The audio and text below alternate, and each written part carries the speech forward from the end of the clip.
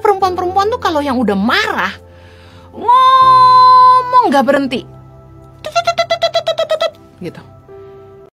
Ketika bertengkar dengan pasangan kita, sering kali kita kesal ketika pasangan kita bersikap seolah-olah tidak ada apa-apa. Bahkan bisa tidur nyenyak sampai ngorok. Sementara biasanya para wanita kalau kesal sama pasangannya tidak bisa tidur seperti saya. Nah kita harusnya bereskan. Yang waras ngalah, pembawa damai harus berdamai.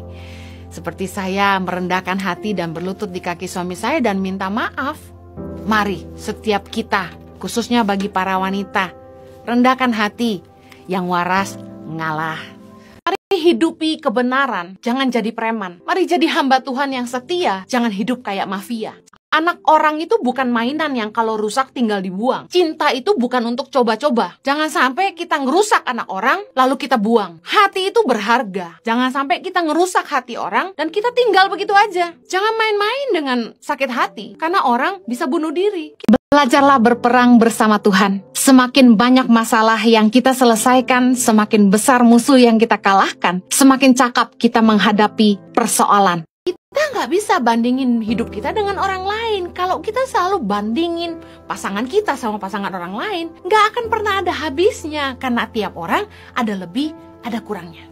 Jangan merasa kuat, jangan merasa hebat. Tetap andalkan Tuhan. Hiduplah takut akan dia dan harapkan kasih setianya menyertai kita. Siapa sih yang kalau disakiti itu tidak marah? Siapa sih yang kalau sampai direndahkan tidak kecewa? Dan ketika kita marah ketika orang jahatin kita, tentu secara otomatis manusiawinya kita akan berpikir bagaimana kita membalas perbuatan orang. Ketika orang mencela kita, otomatis kita akan berpikir apa yang kita akan balas dengan perkataan kita. Orang cenderung membela dirinya sendiri dengan membalas perbuatan jahat orang lain. Bahkan ada yang berkata begini, kalau kamu baik sama saya, saya akan baik sama kamu. Tapi kalau kamu jahat sama saya, saya akan lebih jahat sama kamu. Ada istilah gitu kan. Nah, jangan sampai kita membalas kejahatan dengan kejahatan. Kita harus menguasai diri kita supaya kita tidak perlu balas kejahatan orang. Jangan menjatuhkan orang lain untuk naik ke atas. Orang ini untuk sukses, ya, untuk maju, untuk kaya, untuk jadi besar. Seringkali pakai hal-hal yang tidak benar, pakai cara-cara yang tidak berkenan kepada Allah, pakai cara-cara yang nggak halal. Salah satunya menjatuhkan orang lain supaya dia sendiri naik ke atas. Contoh, memfitnah teman, menipu teman, mencelakakan teman, memburukkan nama baik orang. Supaya apa? Supaya dia sendiri viral. Jadi dia nebeng sama nama orang yang viral. Dengan mencela, menuduh, memanipulasi berita. Belajarlah berperang bersama Tuhan. Semakin banyak masalah yang kita selesaikan, semakin besar musuh yang kita kalahkan, semakin cakap kita menghadapi persoalan.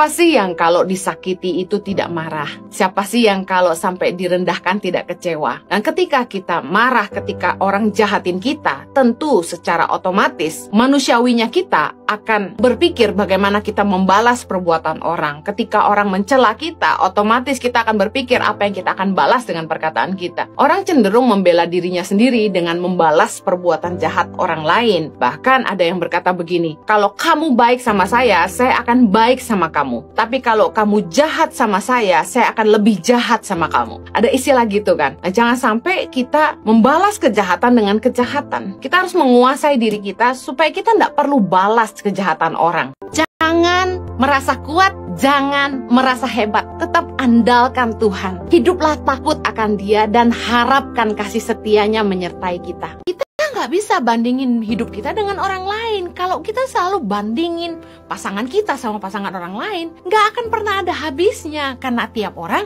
ada lebih, ada kurangnya. Belajarlah berperang bersama Tuhan. Semakin banyak masalah yang kita selesaikan, semakin besar musuh yang kita kalahkan, semakin cakap kita menghadapi persoalan.